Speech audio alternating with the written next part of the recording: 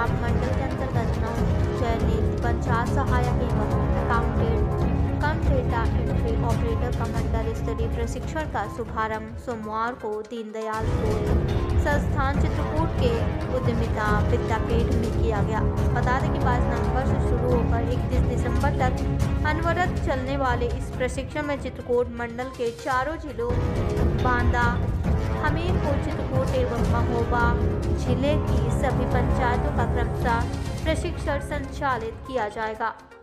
प्रशिक्षण का उद्घाटन बांदा चित्रकूट माँ सांसद आर के सिंह पटेल चित्रकूट धाम मंडल के उप निदेशक दिनेश सिंह, जिला पंचायती राज अधिकारी चित्रकूट तुलसी राम एवं अपर जिला पंचायती राज अधिकारी चित्रकूट राज बहादुर साथ ही साथ अपर जिला पंचायती राज अधिकारी बांदा रमेश चंद्र गुप्ता द्वारा उद्यमिता विद्यापीठ में किया गया।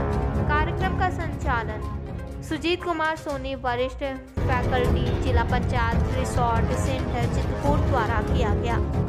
प्रयाग एक्सप्रेस न्यूज़ के लिए बद्री विशाल सिंह।